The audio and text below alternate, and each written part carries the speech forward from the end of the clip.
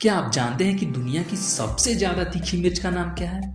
उसका नाम है कैरोलिना रिपर जो एक हाइब्रिड मिर्च है, जिसे कैरोलिना में बनाया गया है। तो आप साइंस के स्टूडेंट या फिर साइंस के बैकग्राउंड से होने के नाते आप पूछिएगा कि कितना तीखा होता है। जैसे वॉल्यूम को मेजर करते हैं, लीटर में और लेंथ को मेजर करते हैं, मीटर में।